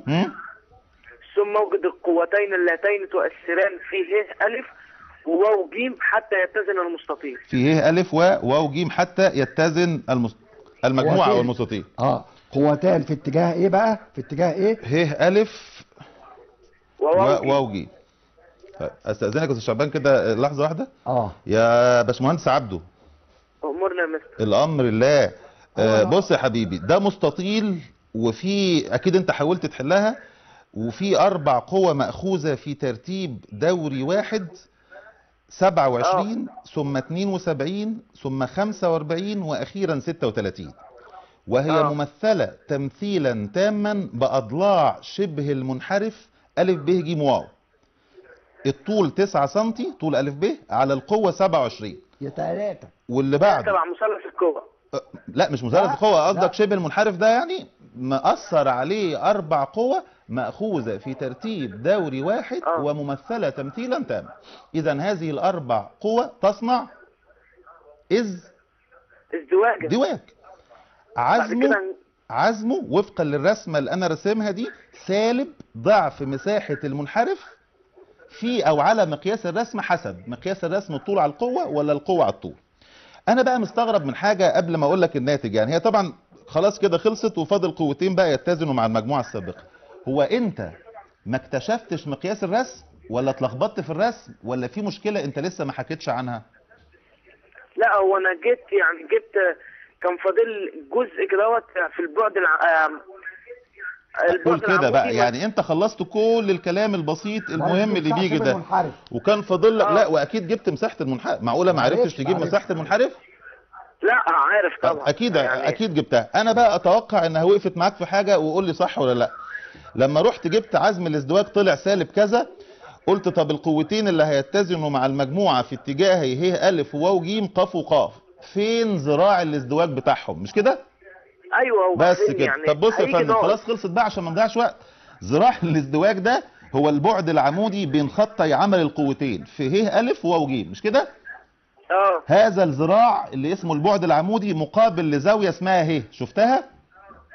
في المثلث آه. القائم. الزاوية دي أختها بالتبادل مرسومة في مثلث أبعاده 9 و12 و15 فجيبها 9 على 15 إذا هذا الذراع مقابل لزاوية جيبها 9 على 15 طب بقى ثانية واحدة يا أستاذ محمد. آخر حاجة بقى ماشي. والرسمه بتاعت الشرطان آه، هتبقى إيه معايا 9 على كده. آه، 15 آه، آه. بيساوي الذراع على 12 يعني هذا الذراع اللي هتشوفه حالا على الشاشة ب 9 في 12 على 15 ده ذراع أهو.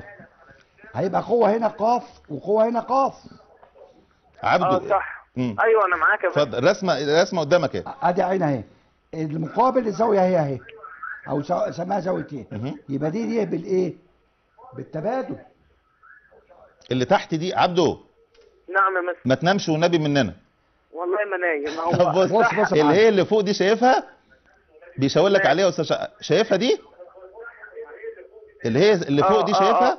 دي مقابلة للذراع اللي انت بتدور على طول. يعني عين هتساوي. ده ب 12 12 جاهي. 12 جايين أختها بقى تحت ساكنة تحت هي بتساويها يعني. بالتبادل. ده 9 ده أخت. 12 ده 15 جيبها 9 على 15 يبقى شكرا 12 9 على يبقى ده البعد العمودي بس. كده أنا عرفتها مس يعني عرفت. ماشي يا عبد. عندك حاجة عايز تانية؟ أحل بقى. عايز تحل؟ يلا حل يا سيدي. فاضل سطرين في المسألة دي نحلهم مع عبد. آه. امم إحنا دلوقتي بص يا عبده إحنا جبنا متجه قاف واحد. امم عبارة عن مركبة سينية سالب خمسة ومركبة صلدية خمسة جذر ثلاثة إزاي بجيب. المعيار يا عبده؟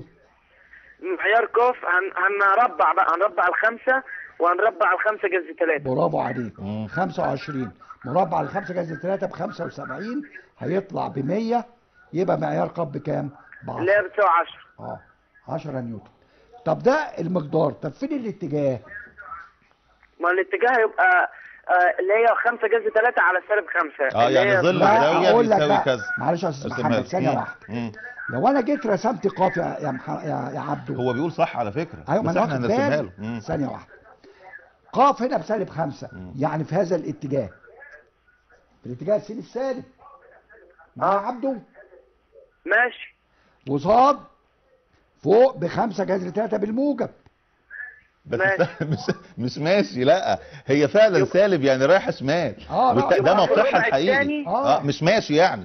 هي دي رايحة شمال والثانيه رايحة فوق. آه. فأكيد المحصلة دي هتبقى بينهم. بينهم مم. كده. يبقى في الربع الثاني هنجيب ال- الزاوية اللي هتطلع لنا ونطرحها من ال 180 آه، مظبوط برافو عليك. مظبوط. الله ينور عليك. هتطلع مم. الزاوية هي ب 60 مم. يبقى الزاوية عبارة عن كام؟ 120 تمام. حلو قوي طيب يا عبدو نورتنا وشرفتنا وأي حاجة هتعوزها إحنا في انتظار مكالماتك أو مشاركاتك إن شاء الله في الحلقات اللي جاية دي خلصت كده خلاص التاني. وإحنا بكده نعتبر إن إحنا خلصنا قانون نيوتن الأول ولو بشكل مبدئي آه. علشان نبدأ نستعرض في الجزء المتبقي من حلقتنا النهارده بداية قانون نيوتن الثاني آه. طيب بيقول إيه بقى القانون آه. منصوصه من- نص القانون إيه. منطوقه إيه. كل اللي فات كوم مم. واللي جاي كوم تاني والله آه القانون مم. التاني نيوتن ده مم. من أهم الح... الأجزاء اللي في الديناميكا عندنا. نعم تمام. القانون التاني نيوتن. القانون التاني نيوتن بيقول. إيه؟ معدل التغير في كمية حركة الجسم. آه. معدل التغير في كمية حركة الجسم. مم. بالنسبة للزمن. أيوه. يعني أجيب كمية الحركة وأشتقها بالنسبة للزمن. مم. يتناسب مع القوة المحدثه له ويكون في اتجاه. مم. معدل التغير في كمية الحركة يتناسب. مع القوة المحدثة له ويكون في اتجاه.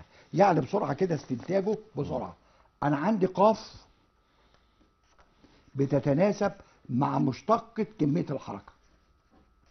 وإحنا عارفين كمية الحركة كف عين. مش كده؟ أيوه. آه يبقى يتناسب مع كف عين. يبقى قاف ديت بتساوي ثابت في دال دنون لكف عين. مم. لو فرضنا دي كاف ثابتة يبقى قاف بتساوي ألف كاف في دلعين دنون مم. نسأل الطلبه مم. مشتق الدلعين دنون هي مين العجلة مم. يبقى عندنا قاف بتساوي ألف كاف في متجه الوحده ج في متجه ج جه نيوتن قال إيه قال أنا عاوز أخلي الألف ده بواحد. فاختار حاجة اسمها الوحدات المطلقة مم. وعرفها. قال لك الوحدة المطلقة هي وحدة القوة التي إذا أثرت على جسم مم. كتلته وحدة الكتل. لأكسبته عجلة مقدارها وحدة العجلات مم. يعني لو قاف مقاسة بواحد مم. يبقى كاف بواحد يبقى جيم بواحد يبقى ألف بواحد. وفي الحالة دي يبقى متجه قاف بتساوي كاف في متجه جيم يعني إحنا ب... لغينا علامة التناسب زي ما اتفقنا من شوية وحطينا. مكانها ثابت آه بس هو جه نيوتن قال لك أنا أخلي الثابت ده واحد فعملت الاختراع ده أيوه عشان بس يبقى الثابت بواحد يبقى ثابت مم. بواحد فيبقى في بدل علاقة بقت معادلة آه. يبقى متجه الوحدة مم. متجه قاف. بيساوي كاف في متجه العجلة حلو لذلك بقى قانون نيوتن الثاني. له صيغتين رياضيتين. أهو بيقول لك الصيغة الرياضية للقانون مم. لو كانت قاف متغيرة مم. الكتلة متغيرة يبقى قاف بتساوي د دنون لكف عين لو لو كاف متغيرة آه. فيبقى القاف تساوي دال دال نون لكف عين مم. يعني يقصد إيه أجيب كمية الحركة مم. وأشتقها بالنسبة للزمن لأن الكتلة مش ثابت فمش هقدر اطلعها بره واشتق السرعه بقى. لو كانت كتلة الجسم كاف ثابتة. يبقى متجه ق بيساوي مم. ك بيساوي في. متجه ج مم. لو كنت هستخدم في المتجهات مم. لو هستخدم قياسات جبرية مم. يبقى في الحالة دي يبقى ق بيساوي ك في إيه في ج مم. في حاجة بقى مهمة جدا هنا بقى آه ألا وهي وحدات قياس القوة مم. وحدات قياس القوة نوعين مم. وحدات تثاقلية مم. ووحدات مطلقة مم. أهو آدي وحدات التثاقلية ده بقى الكلام اللي هيتبني عليه كل, كل شغل. الوحدات في المنهج بالكامل في المنهج كله فلذلك أبناء الطلبة تركز معانا. عشان كل اللي جاي هيعتمد الكلام اللي أنا اقوله ده مم. الوحدات التثاقلية. ثقل طن ممكن أحول ثقل كيلو جرام مم. ممكن أحول ثقل جرام أحول من ثقل طن لثقل كيلو جرام أضرب في 1000 مم. من ثقل كيلو جرام لثقل جرام أضرب في 1000 مم. وممكن اعرف الثقل كيلو جرام مم. هو قوة جذب الأرض لجسم كتلته كيلو جرام مم. ممكن يقول لك دفعة السنة دي آه، معرفش سيئة الحظ معلش هو المفروض إن هم فعلا سيئي الحظ لأن هم ما درسوش قانون الجذب العام في مجمل دراستهم حتى نهاية المرحلة الثانوية آه، محظوظين بتوع ثانية ثانوي بقى اللي السنة الجاية هيبقوا في ثانوية عامة عشان درسوا حاجات الحقيقة مهمة جدا في منهج تانية ثانوي الجديد. لكن خلينا في اللي إحنا آه. فيه يبقى إحنا بنتكلم عن حاجة مهمة هتنفعنا آه. في بقية المنهج كله ألا وهي إنه ال- ال- القوة ليها وحدات. بس نوعين. آه. يا إما وحدات عادية اسمها وحدات مطلقة يا إما وحدات تثاقلية. اللي إحنا بنقولها دي تثاقلية. مم. يقول لك عرف الثقل كيلو جرام مم. أو ثقل كيلو جرام نقط. ممكن. هو قوة جذب الأرض الجسم كتلته 1 كيلو جرام. طب لو ثقل جرام مم. هو قوة جذب. الأرض الجسم كتلته 1 جرام مم. نيجي بقى الوحدات المطلقة بتاعت القوة في الداين وفي النيوتن. طب إيه هو الداين. هو وحدة القوة. التي إذا أثرت على جسم اللي هو تع- تعريف. النيوتن. هي وحدة القوة التي إذا أثرت على جسم كتلته 1 كيلو جرام. لاكسبته عجله مقدارها 1 هو, متر على هو, الثانية هو تربيع. الطالب بتاع علم الرياضة يقول لك أنا مش هقعد أحفظ لا بس هي مش موضوع تقعد تحفظ. لا، هو انت. هو إحنا حافظين؟ لا. طب ما أنت قول لي كده النيوتن هو إيه؟ آه ما هو آه، النيوتن ده وحدة لقياس إيه؟ أنا مش حافظ أنا أصلا ما بعرفش أحفظ. أنا آه، أنا آه. طب النيوتن ده وحدة بتاعت إيه؟ وحدة قوه حلو. والقوه دي إيه في إيه؟ كاف جيم. حلو. يبقى النيوتن ده عبارة عن إيه؟ و- القوة كتله واحدة واحد أيوة. واحد عبارة عن 1 كيلو جرام 1 متر على الثانية تربيع يعني نكتبوا إيه؟ القوة التي إذا اثرت أثرت على جسم كتلته كتلته. 1 كيلو جرام أكسبته عجله عجلة مقدارها مقدارها 1 من متر. على القانون. بس. مم. أحفظ إزاي؟ مم. يبقى معنى كده النيوتن عبارة عن كيلو جرام متر على الثانية تربيع. بس بتاع إيه؟ قوة. قوة. يبقى نيوتن هو نقط. نقط. القوة آه. التي إذا أثرت على جسم كتلته هي وحدة القوة مم. التي إذا أثرت على جسم. على جسم كتلته كتلته 1 كيلو جرام أكسبته عجلة مقدارها واحد. متر على الثانية تربيع طب نفس قول لي. الداين من غير حفظ آه. الداين ده بتاع إيه قوة آه. بس صغير بقى إذا وحده أثرت صغيره على جسم كتلته القوة إيه؟ التي إذا أثرت على جسم كتلته 1 واحد جرام جرام. أكسبته عجلة مقدارها 1 سنتيمتر على الثانية تربيع مش حافظ حاجة مم. لذلك في علاقة بين النيوتن والداين. إحنا قلنا النيوتن كيلو جرام متر على الثانية تربيع. والداين جرام سنتيم- جرام سنت- سنتيمتر. يبقى النيوتن 10 أس 5 داين آه. ليه؟ كيلو جرام 10 ألف. أس 3 والمتر 10 أس 2 يبقى 10 اس 5 تمام. لذلك كاتب أنا أهو إن النيوتن 10 اس 5 داين. طيب. حاجة تاني يا أستاذ محمد. اتفضل. آه، لما نيجي نقول في علاقة بين كتلة الجسم ووزنه. علاقة بين كتلة الجسم ووزنه.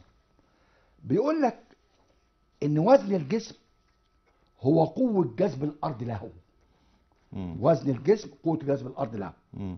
لذلك وزن الجسم قوة جذب الأرض هو كلام مهم جدا خطير آه. آه، هنسترسل فيه وهنكمله بعد ما ناخد بس تليفون من آه، ولي أمر آه، من المنصورة. السيد الجمال أهلا بيك يا أستاذ سيد أهلا بيك يا أستاذ السيد. الله يكرمك يا رب. السلام عليكم. وعليكم الله السلام ورحمة الله وبركاته. أهلا أهلا بحضرتك بيك أهلا بيك. أنا برد أهو. آه، اتفضل. السلام عليكم. وعليكم السلام. بعد السؤال استفسار في الازدواج. أؤمر. ماشي؟ آه قال لك من يعني تثبت إن المجموعة تكافئ ازدواج آه تاخد عزوم عند ثلاث نقط مش على استقامة واحدة ويطلع الناتج مقدار ثابت. هو ده كان يسوى. موجود في طب اتفضل ثانية مم. واحدة. مم. أقول لك بعد إذنك يعني أستاذ السيد آه يا أستاذ مم. سيد إحنا عندنا. الازدواج له حالات لإثبات عشان المجموعة حاله حالة من. حالات إثبات إن المجموعة مظبوط. تكافئ ازدواج إحنا عندنا حالتين اتنين بس أيوة. القرار علينا يعني المقرر عندنا الحالتين دول دي كانت. موجودة زمان آه آه آه.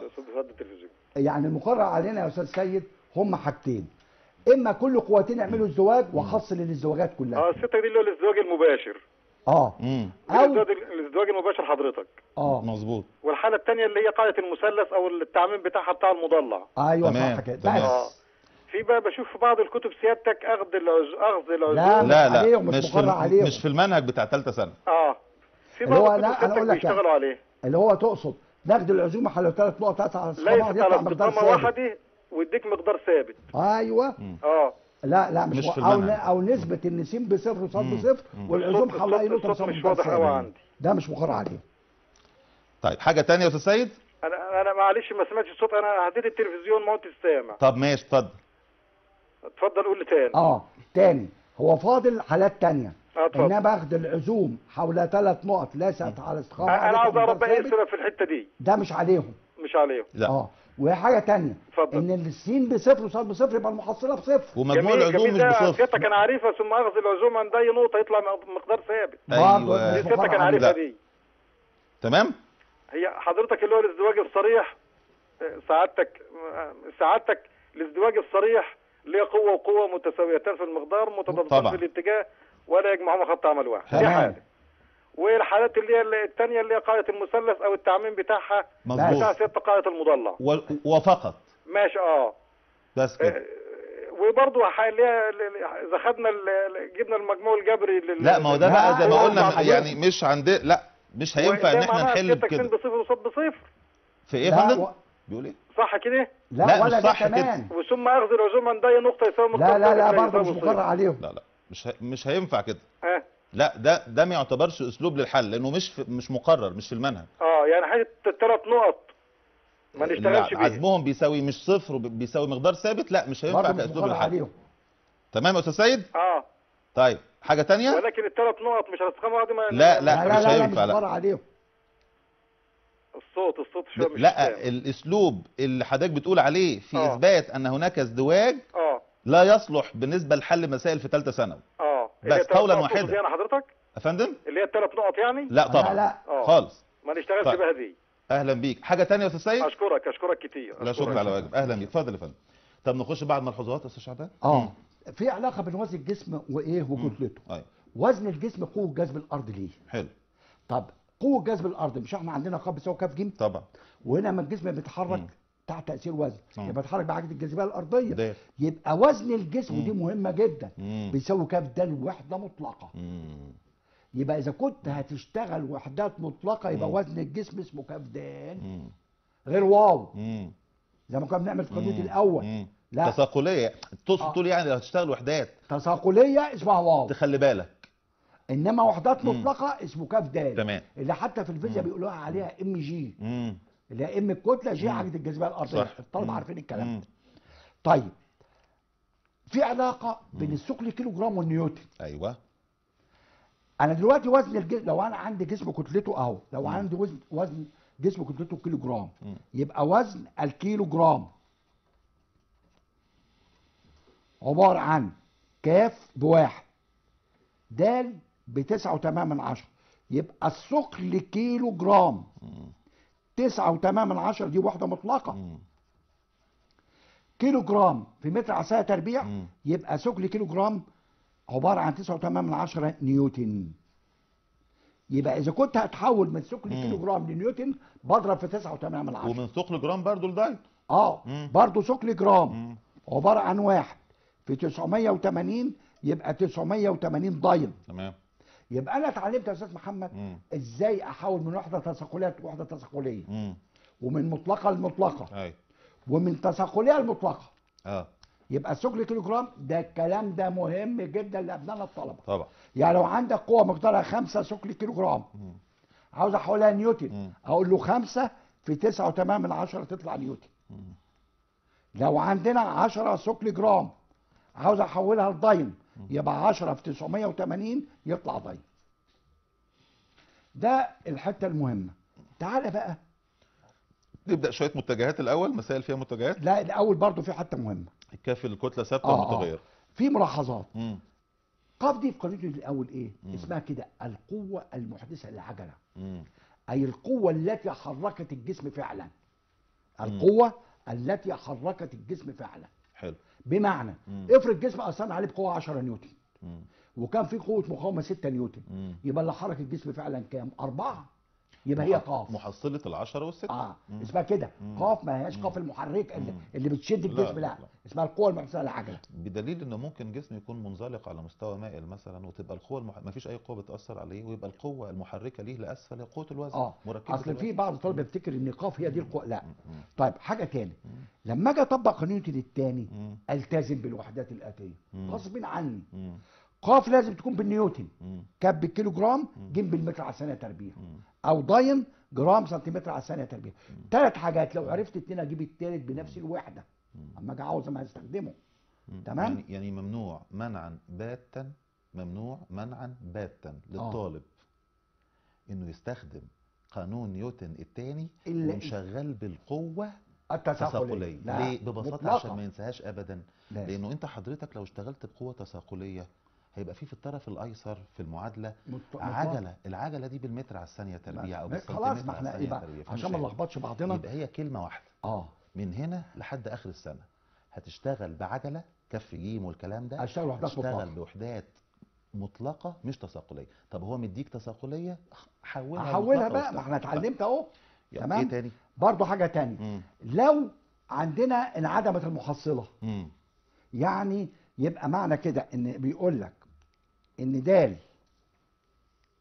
انعدمت محصله القوه المساعده على الجسم أي أن مشتق كمية الحركة بصفر. آه. يبقى معنى كمية الحركة بتساوي مقدار إيه؟ ثابت. انعدمت المحصلة؟ آه انعدمت يبقى المحصلة. يعني معدل تغير كمية التحرك بصفر؟ بصفر. يبقى في الحاله دي كف عين بيساوي مقدار إيه؟ ثابت. وهناك احتمالين. لا ده دي حتة مهمة دي عايزين آه. يعني ناخد وقتنا فيها اللي هي الجزئية الأخيرة. آه. إحنا بنتكلم عن معدل تغير كمية الحركة. ده أيوة. قانون التاني. آه. طب افرض طلع بصفر. آه، يبقى عندي أيوة. إيه أو إيه؟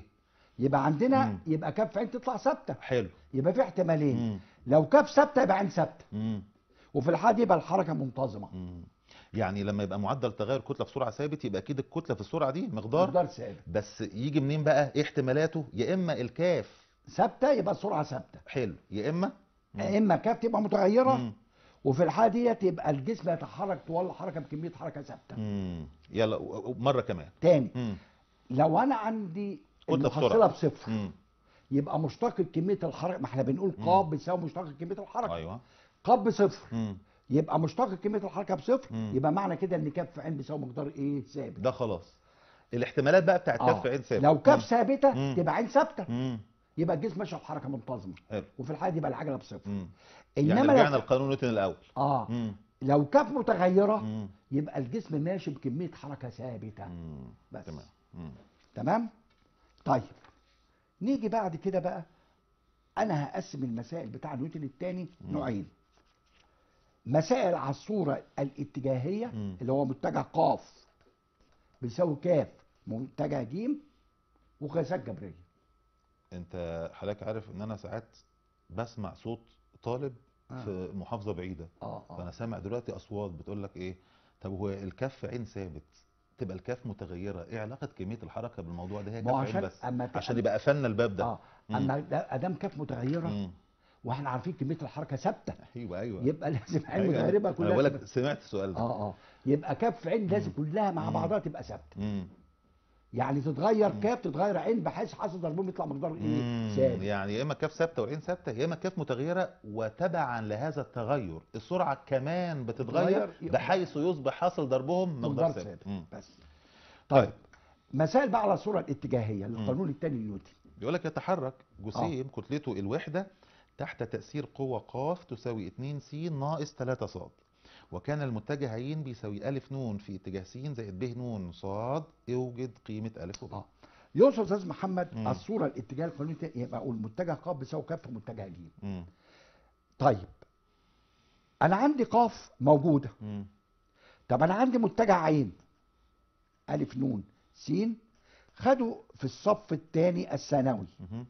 لما اشتق عين يديك العجلة. أيوه. يبقى عندنا ج عبارة عن د العين د النون. يبقى ألف س زائد ب ص أنا عندي بقى ق بيساوي ك ج ق عندنا ب 2 س ناقص 3 ص بتساوي. ك بواحد في ألف س زائد ب صاد. طالما عندنا متجه مت... بيساوي متجه يبقى المركبة السينية بتساوي السينية. يبقى ا بتساوي 2 وب بتساوي سالب 3 تطبيق مباشر. طب ممكن تيجي حاجة زي كده أكمل مثلا. آه. طيب مسألة برضو تانية في إطار المتجهات. يتحرك جسيم كتلته الوحدة تحت تأثير قوتين قاف واحد اللي بتساوي خمسة في السين زائد ب في اتجاه صاد. قاف اتنين ألف في اتجاه س زائد صاد حيث س وصاد متجهة الوحدة المتعامدين. وألف هي طب طب أيوة. ماشي. آه. نقولها بقى من الأول. يتحرك جسيم كتلته الوحدة. جسيم كتلته الوحدة تحت تأثير قوتين قاف واحد. تساوي خمسة س زائد ب ص وقاف اتنين تساوي ألف س زائد ص. وطبعا س وصاد متجه وحدة متعامدين وألف وب ثابتين وكان متجه الإزاحة يعطى كدالة في الزمن من العلاقة.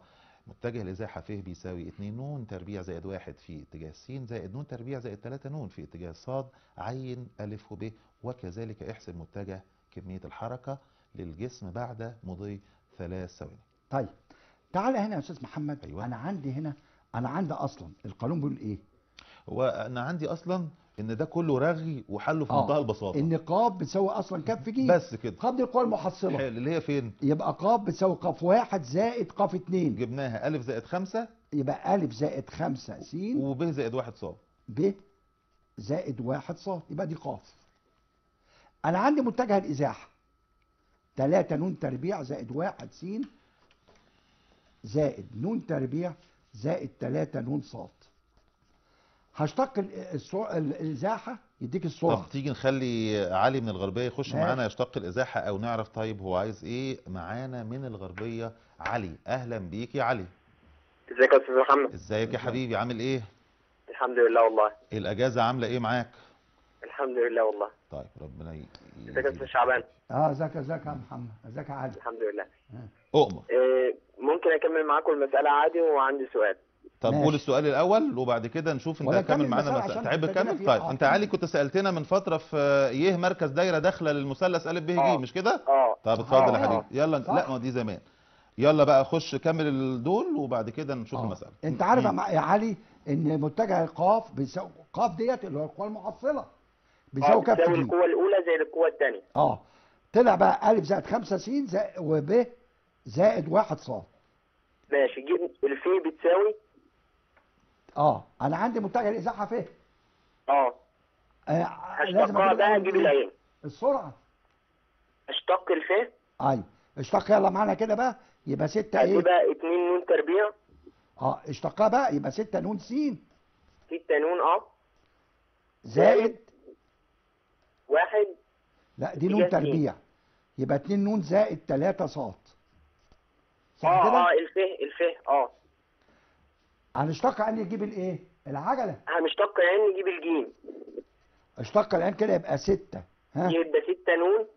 لا مشتقة 6 نون يبقى ستة. بكام؟ زائد 2 في اتجاه صاد. 2 في اتجاه ص أنا عندي بقى قاف بيساوي كف ج آه. قاف عندنا بكام بقى؟ ألف زائد 5 س س زائد ب زائد واحد صاد. الكتلة هنا كام؟ الوحدة. مش آه؟ واحد. واحد في 6 س زائد 2 ص يلا بقى. إيه بيساوي إيه بقى؟ إيه؟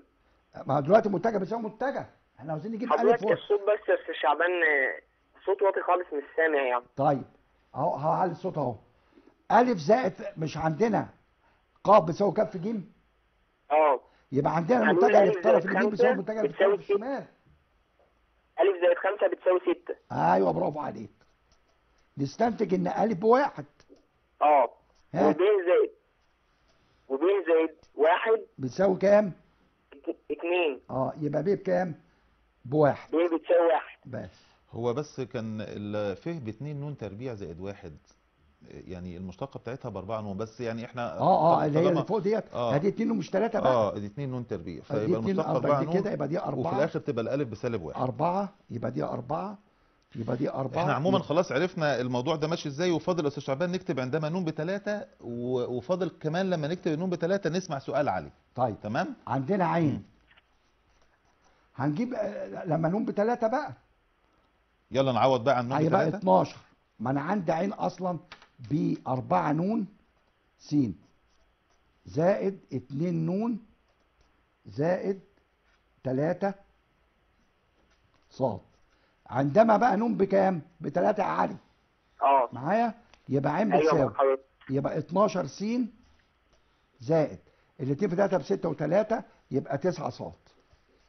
زائد 9 صاد آه. آه. يبقى متجه واحد. كمية الحركة بيساوي إيه؟ كافيين الكتلة في متجه السرعة آه. الكتلة واحد في 12 س. زائد 9 ص. هو عاوز يجيب متجه كمية الحركة. جميل. إحنا في الغالب مش هنلحق نحل سؤال علي هناخده وإن شاء الله نحله في حلقة من الحلقات القادمة. قول يا سيدي قول يا علي. إيه، مستوى مائل؟ مستوى مائل على إيه؟ استاتيكا؟ آه على القانون الأول لنيوتن. ديناميكا القانون الأول. طب قول. مستوى مائل يميل على الأفق بزاوية قياسها اهي يميل على الأفقي. بزاوية قياسها اهي. حيث ظاهرة بتساوي 4 على 3 ظاهر. ظاهر ب 4 على 3 ها؟ وسين وصاد متجهة وحدة.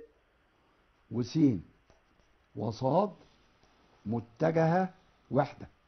الأول في اتجاه خط أكبر ميل للمستوى إلى أعلى. آه في اتجاهي أكبر ميل للمستوى والآخر العمودي عمودي عليه. والثاني في الاتجاه العمودي على خط أكبر ميل آه مم. إلى أعلى برضه يلا. وضع جسم وزنه واو على المستوى المائل وضع جسم وزن واو على المستوى على المائل. المستوى المائي مم. وأثرت عليه قوة 24 س زائد 10 صاد أثرت عليه قوة قاف بتساوي كام؟ 24 س 24 س زائد 10 صاد زائد 10 صاد فتحرك الجسم حركة منتظمة. تحرك الجسم حركة منتظمة. على المستوى إلى أعلى. على المستوى لأعلى. توجد مقدار وزن الجسم. يوجد مقدار وزن الجسم والمقاومة. ومتجه رد الفعل العمودي. ومقدار رد الفعل العمودي. العمودي. ها. والمقاومة. إذا آه إذا كانت مقدار المقاومة 4 ثقل كيلو جرام ومقدار المقاومة أربعة أربعة ثقل ثقل كيلو جرام. جرام وأن وحدة القوة المستخدمة هي الثقل كيلو جرام آه. حضرتك يا أستاذ محمد؟ اتفضل. كنت حضرتك قلت في في مسألة في ال- في القانون الأول لنيوتن إن أقصى قوة يولدها المحرك أو أقصى قوة يجرها ال- ال- العربة آه، بنساوي بنساوي القوة بالميم. آه. يعني هي هي معلومة ثابتة لما يقول لي أقصى قوة. شوف هقول لك أنا هقول لك أنا. أساويها بالميم؟ آه آه. طالما القطار ماشي بأقصى سرعة مش كده؟ آه. باقوى بأقوى قوة جر يبقى معنى كده ماشي بأقصى سرعة. آه. يبقى خط بتساوي ميم على طول. طيب ماشي. أنت يا علي بتسأل قبل قانون نيوتن الثاني يعني ما لا بنستخدمش لا قبل قبل. اسمعني يا علي. أنت بتسأل آه، هو ليه القطار أو العربة أو الجسم بشكل عام لما بيكون ماشي بأقصى سرعة ليه بنقول إحنا في الحل إنه القوة المؤثرة على حركته تساوي مجموعة المقاومات اللي بتعوق حركته؟ أنت عايز تسأل كده؟